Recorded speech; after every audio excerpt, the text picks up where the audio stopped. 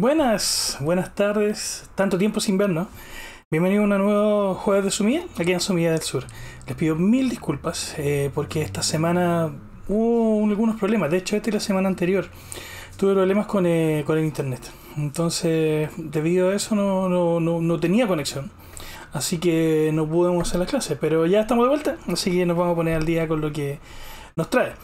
Recuerden que la semana anterior estábamos viendo eh, animales, ¿cierto? Eh, y bueno, dentro de los animales lo que no vimos son aves. Las aves es un tema muy recurrente en el Sumie debido a que se posan en los árboles que pintamos también. Entonces es muy común el poder eh, contar una historia y poder hablar acerca de, de, de, de, lo que te rodea a través de, las aves. ¿ya? Entonces, ah, también es una, es una, cosa bien interesante el hecho de que las aves que nosotros pintamos, si bien son comunes en varios sitios, también hay muchas aves que son endémicas, o sea, que son que pertenecen al país donde tú vives. Entonces, perfectamente, tú puedes eh, hacer aves eh, que representen el país donde tú vives y eso también cuenta una historia que es muy personal, que, pertenece solamente a ti, ¿me entiendes? Y que también representa de dónde vienes. Entonces es una muy buena manera de poder eh, hablar acerca de la, de cómo se llama, de, de, de, la historia de tu lugar. Un saludo para la gente que se está uniendo en el chat. Un saludo ahí para España, que se está uniendo ahí Jesús Castillo. Qué bueno que pudiste meterte al, al curso, como, como les venía diciendo, la eh, la, la, clase no lo pude hacer la semana pasada. De todas maneras, si eh, por algún motivo se puede se vieron esta clase en vivo, que en realidad es para que ustedes puedan hacer preguntas, siempre va a quedar el video para que ustedes puedan verlo después en el canal. Así que eh, no se preocupen, el video va a estar siempre ahí esperando. Bueno, vamos a hablar acerca de unas cosas bien interesantes respecto a la ADE. Una cosa que, que vamos a recordar un poco algunas clases anteriores. Si ustedes están siguiendo este curso desde el principio, de todas maneras lo pueden revisar. Hay una lista de reproducción llamada eh, Cuatro Caballeros. En Cuatro Caballeros, una de las primeras clases vimos el bambú. Y en el bambú, recordarán que la manera de poder hacer hojas era eh, haciendo una presión con el pincel. Si, se acuerdan bien. Ustedes recuerdan que el pincel tiene un ancho. Y al presionar el, el, el pincel en el papel, aprovechen ese ancho para poder establecer el ancho de la hoja y el arrastrar lo que genera una hoja. Si recuerdan, la lección era algo más o menos así, que ustedes presionaban y arrastraban. Y eso era una hoja, ¿cierto? Y hacían distintos tipos de presión y arrastre, presión y arrastre. Fíjense que al presionar se abre el pincel.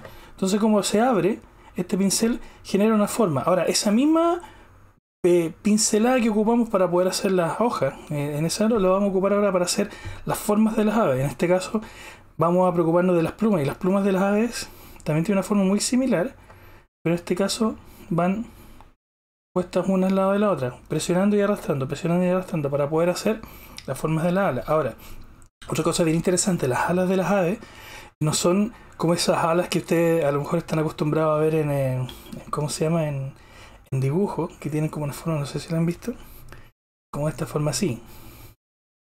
Que es esta es una caracterización de un ala, pero las alas no son así, las alas tienen una, una ¿cómo se llama? Una eh, articulación que tiene esta, esta forma.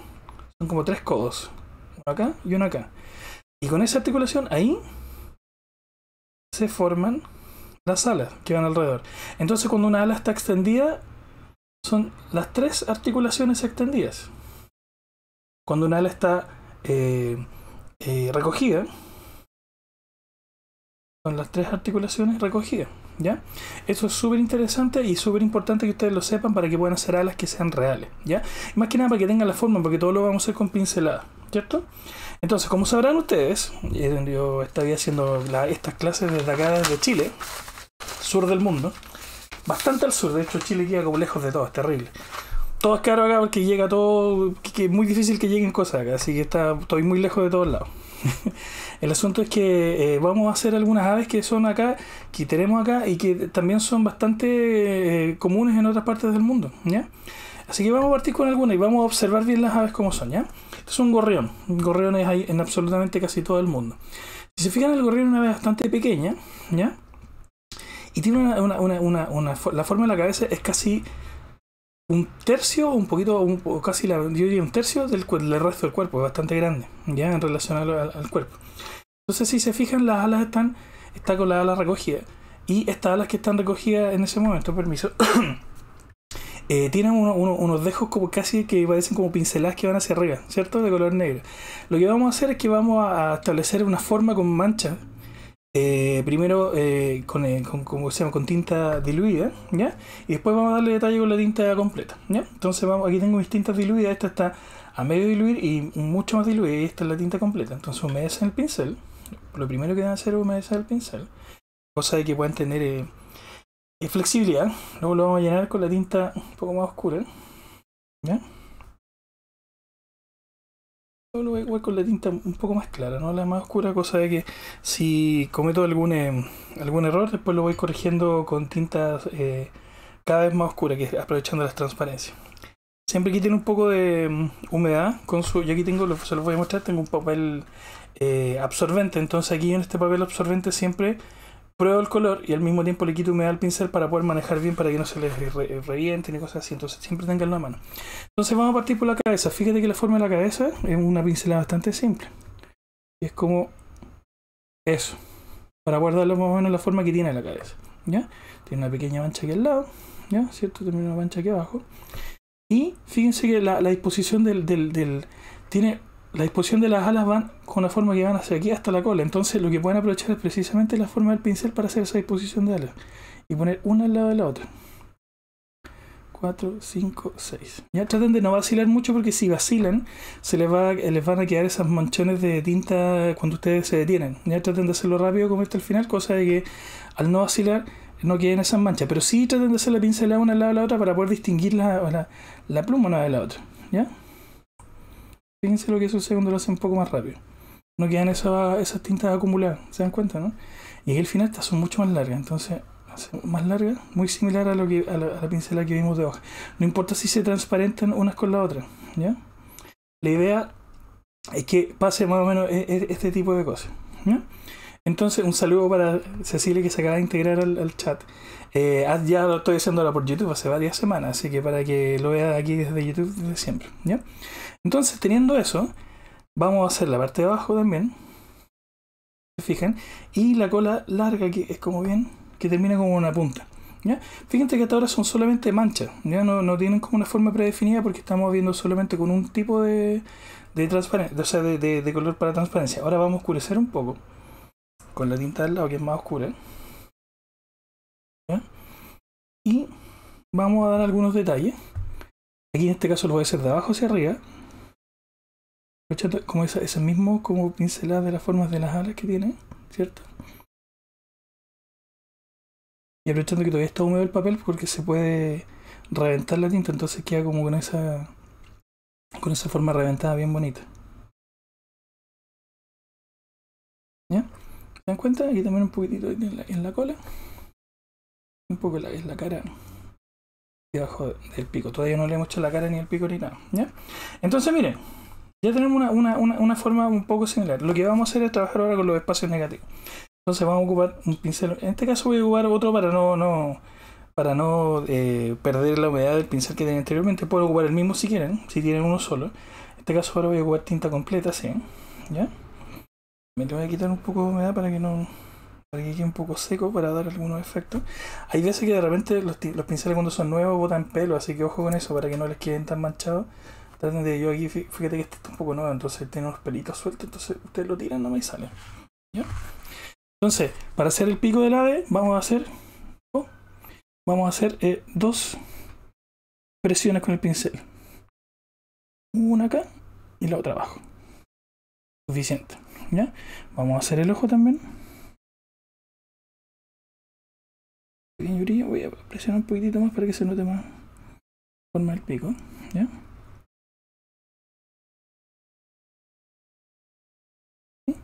Voy a unir ese negro con el negro que he puesto aquí abajo, ¿cierto? Y un negro que como al lado. Y aquí voy a dar una forma solamente. Y lo interesante va a estar dado por la forma de las patas. Entonces aquí las patas voy a secar un poco el pincel para aprovechar la, forma. Fíjate que la pata viene, hacia acá y se afirma por un lado. ¿Ya? El otro lado aún no lo voy a hacer porque voy a hacer la rama con eso. Y aquí la rama va hacia abajo y se afirma por este lado y tiene unas dos garras por acá, ¿cierto? Entonces miren, Pueden darle algunos detalles si quieren también con el, con el pincel más negro para guardar la forma a la vez que tienen. Y ahora, ya teniendo esto, podemos hacer con el, mismo pincel presionado de, perfil, podemos hacer una rama, como la rama donde se estaba filmando, ¿cierto? Y son dos ramas, es como un cable en realidad lo que tienen, ¿cierto? En la foto, vamos a hacerlo similar para que se parezca a lo que estamos viendo. Y tenemos un correo. Un correo con la forma muy similar. Podemos dar, cada vez que te aplican más detalle, dan menos a la, a la ¿cómo se llama? A la, interpretación de lo que están viendo. Lo cual es una elección absolutamente propia de ustedes. Si ustedes quieren darle más detalle para que quede con, con mayor forma lo que ustedes quieren, es una decisión absolutamente propia. Pueden ser con mucha menos pinceladas también, ¿ya? Para que quede mucho más... Eh, eh, la palabra no estético, mucho más... Eh, sintético, pero eso es cosa de, de, ustedes, ¿ya? Si lo quieren hacer. Fíjate que con esto ya es suficiente como para poder dar a entender eh, qué, es lo que, es y qué es lo que, está haciendo, ¿cierto? Ya tenemos un pequeño, un pequeño pajarito por. Un detalle aquí en, en las plumas y sería como todo. ¿Se dan cuenta? Entonces es importante que ustedes observen, ya siempre, traten de conseguir, eh, bueno, no es mala idea de salir a, darse una vuelta al parque que tengan cerca de la casa o alguna plazoleta, una plaza, mirar los árboles y empezar a fotografiar a fotografiar los pájaros que están en su casa. ¿cachai? Aquí en, en, Chile hay hartos loros, unos loros que son propios de, de, de la fauna chilena que se llaman tricagües, son bien ruidosos y andan en bandada. Y son bastante lindos, entonces muchas veces se paran frente a, a los árboles cerca de mi casa, les sacamos fotos con mi familia y tengo hartas fotos de esos loros. Eh, como son muy eh, propios de acá de Chile, no los traje hoy día para que los pintáramos, pero sí, como el gorrión, como está en todos lados, es un poco más fácil de poder ver. Vamos a ver otro, otro ejemplo, ¿ya? Entonces, como les decía, es aprovechar un poco las mismas eh, pinceladas que hemos visto antes, ¿ya? En otro ejercicio, para poder hacer este tipo de cosas. Vamos a ver un, un, otro ejemplo. Aquí hay un cuervo. Eh, bueno, los cuervos son todos negros, ¿ya? Son bastante bonitos también y extremadamente inteligentes. Si tienen la suerte de tener cuervos cerca de la casa y son amables con ellos, eh, los cuervos tienden a darles regalos de vuelta. Son muy. Y lo otro que tienen los cuervos es que se acuerdan mucho también de las caras de las personas. Entonces, ojo con eso, porque eh, si ustedes le hacen daño a un cuervo, el cuervo les va a hacer daño a ustedes.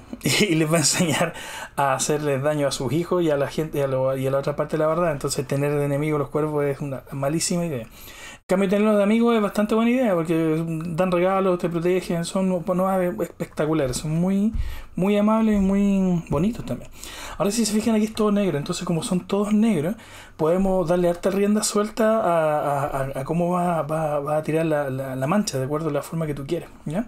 Entonces tú puedes empezar por las alas, puedes empezar por dejando algunos bordes, algunas cosas. Si se fijan en la, en, en la fotografía que hay acá, eh, eh, fíjate que ahí, si bien está todo negro, hay unas pequeñas partes donde le llegan luces.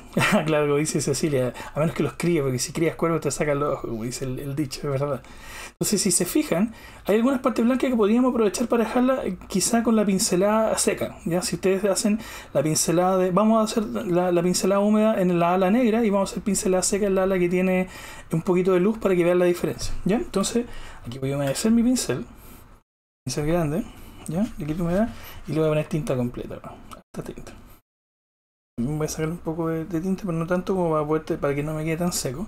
Entonces, empezamos mirando la, ilustre, la fotografía y se fijan, empiezan de a poco a darle la forma del ala como la va teniendo con varias pinceladas. Este está completamente negro, entonces aquí ustedes aprovechan la forma que tiene, ¿cierto? De la misma forma la aprovechan para hacer el pico y la cabeza. ¿Cierto? Y en separación para hacer una diferencia. Cuerpo. Súper majestuosa la forma de. Y, y que son manchas, es mancha, una mancha absolutamente negra. Lo mismo acá, la cola. Y aprovechamos la, la, la forma del pincel de afuera hacia adentro voy a hacer la cola y agarran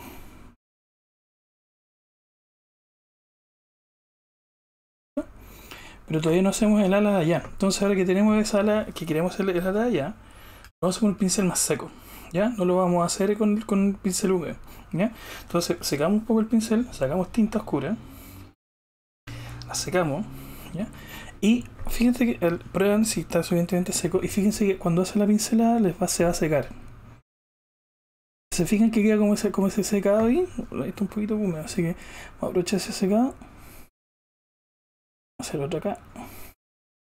El tercer aquí. El acá. Y la cuarta acá. Y también tiene unas alas que van como para este lado. Muy húmedo, lo quiero más seco.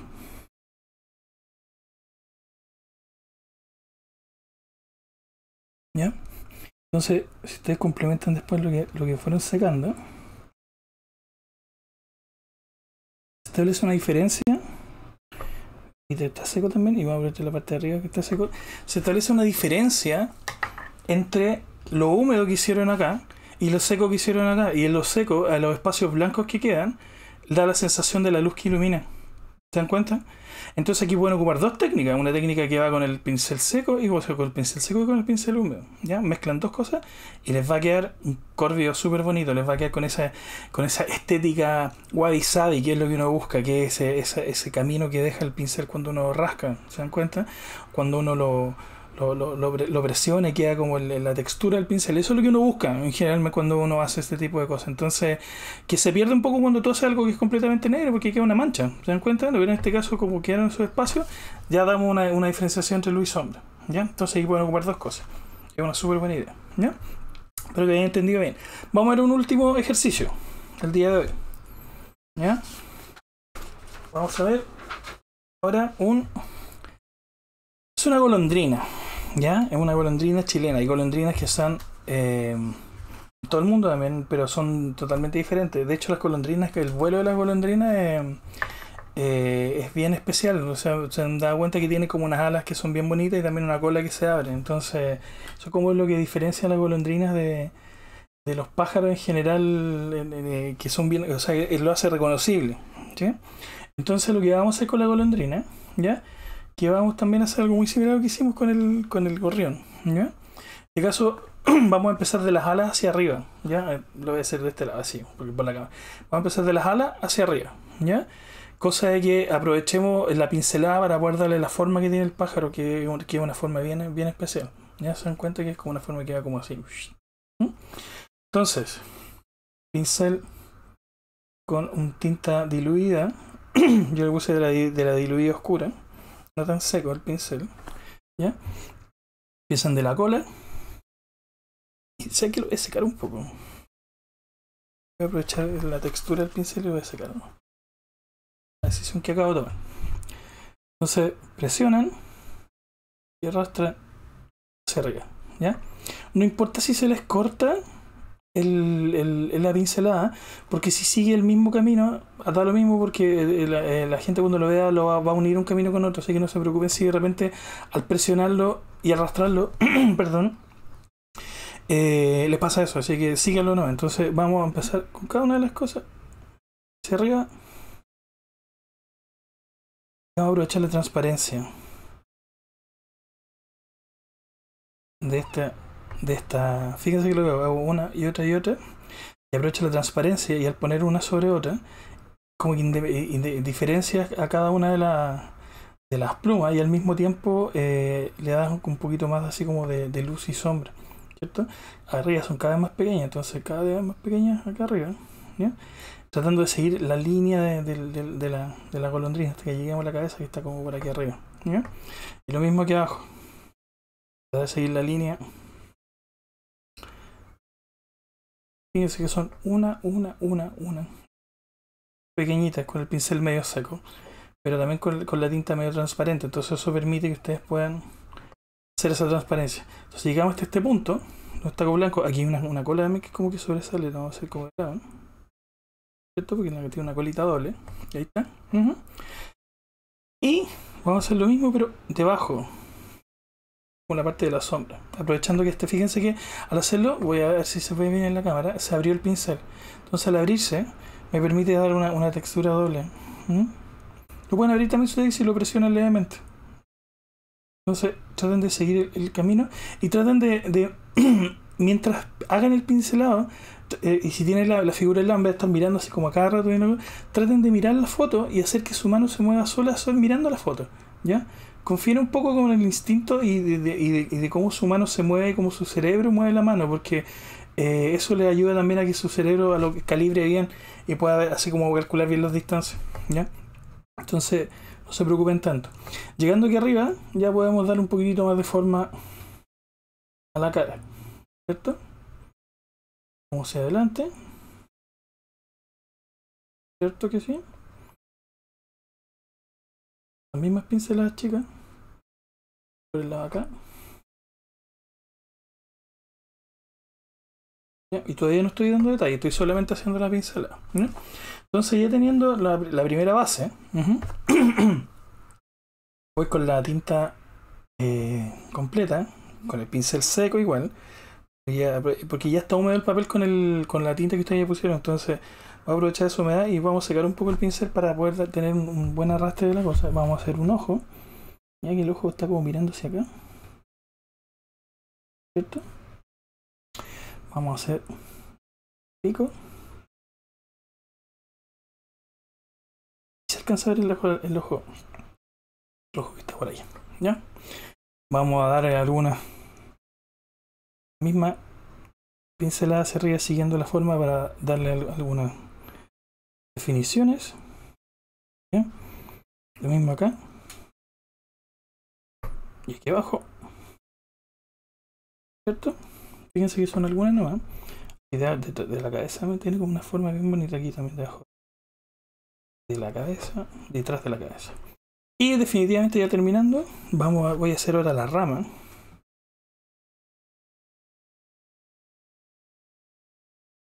¿Cierto? Hicimos una rama. Aprovechando la textura del pincel seco. Tiene como una unos brotes en la rama y tiene unas pequeñas hojitas también que también las podremos hacer, pero las vamos a hacer al final. Y vamos a hacer, no, las, las voy a hacer al final, las voy a hacer ahora, considerando el hecho de que, eh, ¿cómo se llama? Em, la pata está detrás de una hoja, entonces voy a hacer la hoja primero, cosa después esconder la pata detrás. Entonces son como unas patas de lecho, como unas hojas de lecho, perdón. Se hacen con pequeñas pinceladas pequeñas pinceladas así, muy similares a las que vimos con las hojas. En este caso lo voy a hacer con una tinta más oscura, así. Cosa de que eh, se note, pero también al mismo tiempo sea como diferente a la hoja. ¿Cierto? Siempre se agrupan como de número de 5. 1, 2, 3, 4, 5, 1, 2, 3, 4, 5. Aquí también hay otra. 4, 5. 1, 2, 3, 4. Poquito más también. también. Y acá también hay varias. Vamos a colocar alguna. No es necesario ponerlas todas, solamente las suficientes como para dar la sensación de que efectivamente es en el hecho. ¿Dónde está?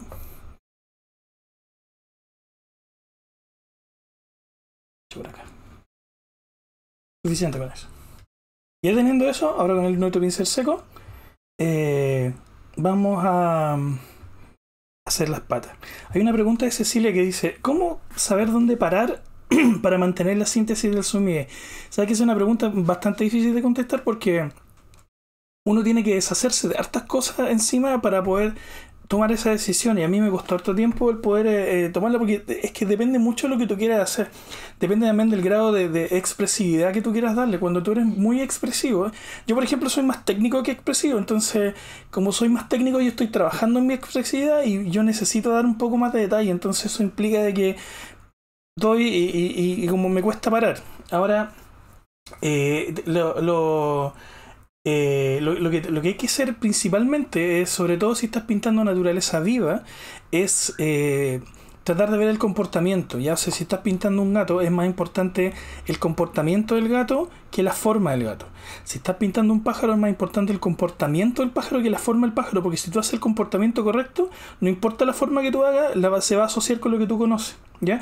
En cambio, si por ejemplo tú haces una forma muy bien hecha de un gato o de un pájaro, pero esta forma bien hecha de un pájaro no está acompañada del gesto del pájaro, no va a aparecer pájaro. ¿Me entiendes? Entonces, es muy importante que tú vea eso. Por eso que es importante que, por ejemplo, que tú puedas copiar eh, cosas que tú veas. En este caso yo estoy ocupando fotografía. Eh, pero si puedes ver a la naturaleza o en la misma fotografía también te va a ayudar mucho. O sea, más que una fotografía, eh, eh, ¿cómo se llama? Preparada, sino una fotografía como cándida, eso es lo mejor que puedes lograr. Ahora, todo depende de lo que... Lo, que ¿Cuándo parar? La, creo que la respuesta correcta es cuando tú haces la primera mirada. Por ejemplo, si tú estás viendo un árbol quieres pintar ese árbol, la primera cosa que tú ves en el árbol es lo que tú te fijas en el árbol. ¿ya? Entonces, esa primera cosa que tienes que, te fijas, eso pinta. No es necesario lo demás. Sobre todo cuando los árboles son, eh, considerando que los árboles son, eh, crecen de manera, eh, eh no, vectorial no es la palabra, como es fractal. Al ser un fractal, tú haciendo una pequeña representación del árbol, haces una representación con todo. Entonces, Aquí, si te fijas, la rama es, es, representativa del árbol sin necesariamente tener que hacer eh, eh, el árbol completo. No es necesario. Y, y porque nos vamos a enfocar un poco en, en, el pájaro en este caso. Y el pájaro tiene una actitud que está mirando hacia adelante, que está como muy. Y son las patas las que le da también así como la, actitud de pájaro. Si te fijas, si terminamos hacer la pata acá. Acá. Y la otra está como hacia adelante, porque se está filmando hacia adelante, si se fijan. Con eso tú terminas de dar el gesto del pájaro, ¿ya? Y no, y no queda así como una forma que está como en el aire, ¿ya? Entonces, una buena manera de poder detenerte es con eso. Lo mismo, yo hace, eh, creo que unas clases atrás conté una anécdota respecto a una ilustración que hice, una, una, pintura que hice respecto al sur de Chile y que yo quería hacer el típico paisaje con una araucaria junto con una, una, una montaña. Y cuando hice la araucaria, consideré que no era necesario hacer la montaña porque yo estaba fijando la araucaria y la montaña uno generalmente la llama como por defecto. Y sabes que fíjate que esa pintura después se fue a una exhibición, ya la exhibición que hice en el 2017 en el, en el Archivo Nacional. Y esa pintura, cuando la gente la vio, me contaba, decía, oye, me evoca al sur cuando yo veo la Araucaria está la montaña de fondo. Y me dio mucha risa porque era precisamente lo que yo quería evocar y no fue necesario que yo pintara la montaña. ¿Me entiendes? Entonces, eh, cuesta deshacerse del, del, del de, de, ¿cómo se llama? Del, del, de lo que tú quieres hacer, así como, oh, necesito hacer esto, necesito pintar esto, pero uno tiene que ser capaz de decir que no. Eh, al principio hazlo a propósito, decir, ¿sabes que voy a hacer esto? Y di no, no, no. Y eventualmente, después de tanto tiempo, ya te dar cuenta que la estética solo te va a decir eh, eh, que no es necesario seguir haciendo más cosas. ¿Cachai? Pero siempre trata en lo, posible de, en un principio, entrenarlo y decir esto no. Y, y a propósito, cuando, por ejemplo, si quieres pintar una montaña y un paisaje y todas las cosas, empieza pintando la montaña, empieza pintando el paisaje y todas las cosas y detente en algún momento y decir no. Y no sigue haciéndolo. Ves si te queda bien así. Y si necesitas alguna cosa, sigue. Y si no, para. O si no, hablo de nuevo, con menos cosas. Pero al principio, practícalo. Y en la medida que lo vas practicando, ya después no debería tener problemas. Después se vuelve mucho más eh, instintivo, en este caso. ¿ya? Estas, como son lecciones, eh, la idea es que ustedes puedan eh, poder tener la, la plétora completa de cosas que ustedes puedan tener después para poder pintar. ¿ya? Pero gracias por esa pregunta, porque en realidad es una, es una gran pregunta y me la han hecho hartas veces. Así que eso, pues chicos, la clase de hoy llega hasta acá. Eh, miren, eh, me gustaría que dejaran en los comentarios, si ven este video, dejen en los comentarios eh, qué tipo de cosas les gustaría que viéramos en clase, porque me han llegado varios mails preguntando al respecto. Y hay harto que ver. Ahí me he preguntado harto por figura humana. Y yo figura humana puedo hacer, o sea, les puedo enseñar. Pero es bastante difícil en el sentido de que tienen que aprender a hacer figura humana primero antes de poder de, deshacer la figura humana para pintarla. Entonces tenemos que pasar varias clases enseñándole figura humana antes de recién pintarla en su mía. Pero es bastante interesante. De hecho, me gustaría hacerlo alguna vez.